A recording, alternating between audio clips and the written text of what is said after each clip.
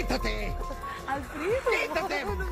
¡Quítate, p Y el inconveniente que venía entre Andrea Legarreta y Alfredo Adame, en una entrevista Alfredo respondía a comentarios de los usuarios y una de las preguntas era que si conocía a una persona que frente a las cámaras era alguien y por detrás era otra persona, Alfredo dice que sí. Las iniciales es con A y con L. En un momento uno de los presentadores mencionó el nombre de Andrea Legarreta e inmediatamente Alfredo dijo que saldría del lugar porque nombraría a un ser del mal, tal cual así lo diría Alfredo Adame, refiriéndose a Andrea Legarreta. Te voy a decir por qué.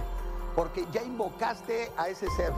También se mencionaría en el lugar que la presentadora del programa hoy pediría disculpas al actor, pero él dice que ella es la que debería disculparse, que él no va a aceptar las disculpas de nadie, que para eso está Dios y es el único que puede perdonar. Cuando yo no tengo que perdonar, que se perdone ella misma. Solo hay uno que perdona, que es el de allá arriba. Alfredo dice no estar de acuerdo con la actitud que en un momento demostró Andrea Legarreta y como no se queda callado, pues lo manifestó y quiso que muchas personas se enteraran de su descontento y prácticamente de lo que haría la presentadora.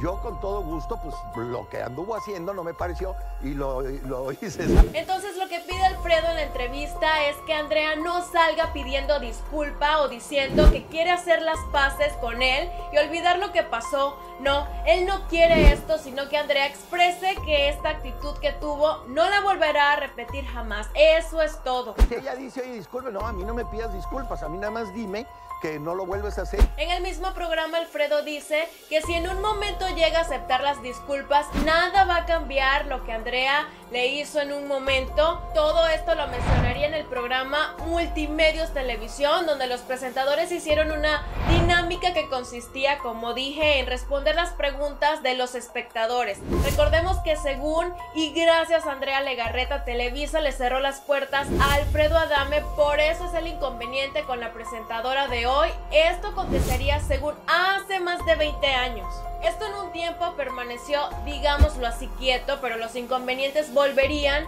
ya que Adame dio una entrevista a una revista donde no solo señaló a Andrea, sino que diría que le fue infiel a su esposo con personas de alto rango en Televisa. Esos comentarios fueron los que hicieron que Televisa despidiera por completo al actor, ya que sus palabras dirigidas a una mujer estaban de más. Obviamente que en una entrevista que le hicieron a Andrea comenta no entender la actitud de Alfredo, pues eran personas muy unidas, tenían una buena amistad, pero de la noche a la mañana él cambiaría con ella. Y por supuesto que las palabras de Adame no le gustaron a la presentadora y creo que ninguna mujer le gustaría ser señalada de mala manera, sin embargo Andrea no ha dicho absolutamente nada y esto cada vez que sale Adame haciendo algún mal comentario que va dirigido hacia ella. Hay que esperar para ver si después de lo que dijo Alfredo en este programa, ella hace algún comentario o si decide permanecer en silencio como lo ha venido haciendo. Si te gustó el video del día, dale like, suscríbete a nuestro canal, activa la campanita para que te lleguen todas nuestras notificaciones y síguenos en la red social de Facebook. Esto fue Famous Up. Nos vemos en el próximo video. Muchas gracias por haber llegado y acompañarme hasta el final.